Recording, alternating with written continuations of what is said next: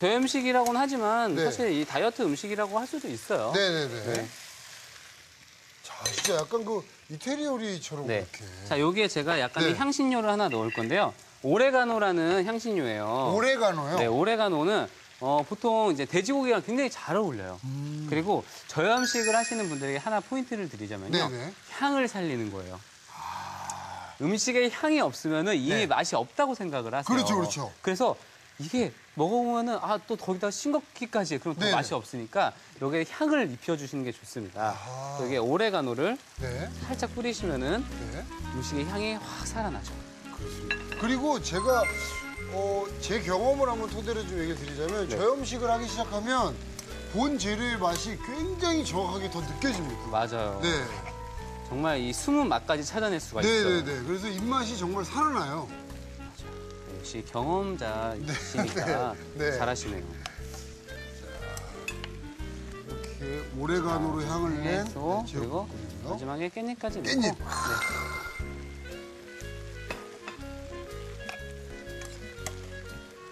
네. 이렇게 해서 불을 꺼줄게요. 어, 이제 거의 다 된 건가요? 네, 다 됐습니다. 네네. 자, 그럼 완성 접시 준비를 해보겠습니다.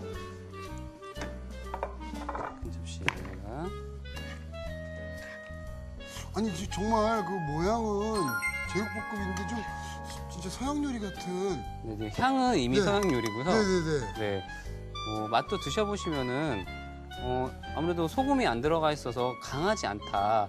강하지 않으면은 뭐가 좋냐면 드셨을 때 위에 부담이 없더라고요. 그렇죠, 그렇죠. 네, 맞습니다. 네. 자 이렇게 주시고요. 네.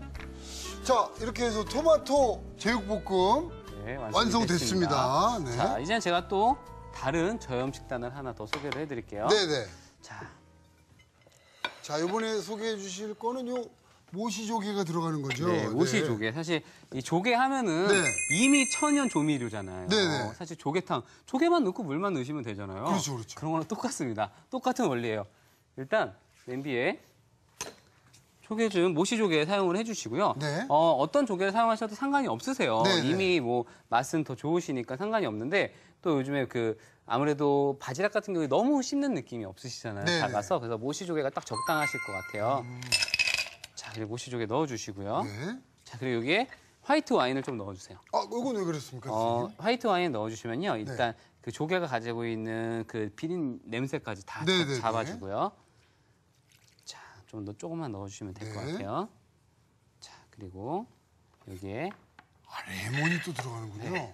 네. 자 여기에 레몬을 한 반 개 정도만 같이 넣고 네. 삶아주시면 돼요. 음, 그리고 여기서 물을 넣고 네. 항상 조개를 삶으실 때는요. 음. 네. 항상 차가운 물부터 시작을 하셔야 되지 입을 열어요. 아, 네. 뜨거운 물부터 가지 마시고. 네, 그러면은 입을 열지 않습니다. 네네. 자, 이렇게 해서 좀 끓여주시면 돼요. 야, 레몬이랑 같이 이 끓여내는 거는 참 특이하네요. 네, 그리고 끓이실 때 넘칠 수가 있으니까 네. 뚜껑을 열고 하시는 것도 좋아요. 네. 자, 제가 시간이 걸리니까 좀 미리 좀 삶아놨어요. 네. 오, 이 이렇게. 국물이 진짜 하얗게. 네, 하얗게. 뭐 나왔습니다. 전혀 소금도 안 넣었고요. 네네네. 네, 전혀. 자, 오, 자, 뽀얀 이렇게 이 육수가 뽀얀. 육수. 네. 이 육수를 사용하셔야 돼요. 네네. 이 육수가 어, 이미 사실 바닷물이 들어가 있기 때문에 짠맛이 있잖아요. 네네. 굳이 또 소금을 넣지 않아도 이 육수만 가지고 조리를 하시면은 이게 나트륨을 줄일 수 있는 방법 중에 하나예요. 그러네요. 아까는 토마토가 그런 역할을 했다면 그렇죠. 이번에는 조개 자체의 조개 맛으로. 자체가. 네. 아, 자, 일단 소중한 육수를 좀 사용을 하고요. 네. 자, 그리고 이 오시조개 알맹이는 네. 하나하나씩 다 꺼내서, 꺼내서? 사용해 주시면 돼요. 네. 자, 뭐 이렇게 칼로 살짝 한번 긁어 주셔도 편하게 되시고요. 네. 아니면은 좀 위험하다 하시면은 네. 우리 티스푼 같은 걸로 떠내셔도 네, 되겠네요. 이런 식으로 살짝 긁어서 네. 이렇게 해주시면 돼요. 자, 이렇게 해서 조갯살을 준비를 네. 해주시고요.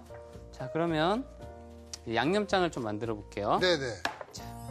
자, 요, 요 양념. 요 육수를 가지고 양념장을 만들어 보도록 하겠습니다. 이것도 중요하죠. 네.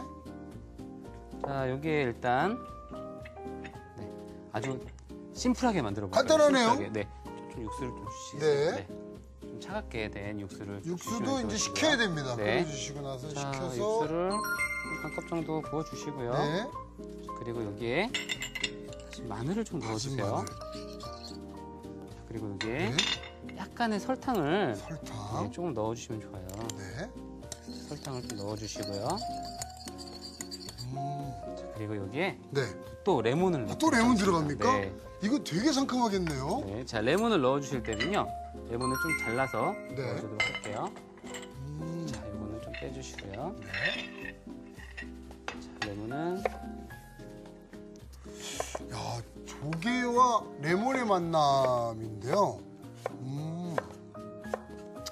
아, 요거 제 어떤 맛인지 약간 그 지금 상상이 됐어요. 상상이 됐어요. 약간 그 냉채 같기도 하면서 맞아요, 뭐 그런 맞아요, 맛 그죠? 맞아요, 맞아요. 아, 이 어, 소금이 네네. 그 나트륨을 줄일 때요. 사실 한몫 톡톡히 하는 게 레몬이에요. 아. 네, 레몬이 대신 이 네. 향과 맛을 잡아주기 때문에 네. 굳이 소금이 안 들어가도 굉장히 그 감칠맛을 같이 느낄 수도 있고요.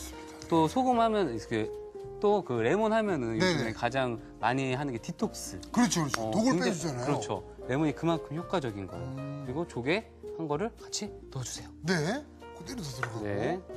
자, 일단 이렇게 해서 뭐 차게 보관을 해주셔도 되고요. 요대로 드셔도 좋지만 이거를 우리는 샐러드나 냉채처럼 네, 한번 준비를 해볼게요. 네. 자, 접시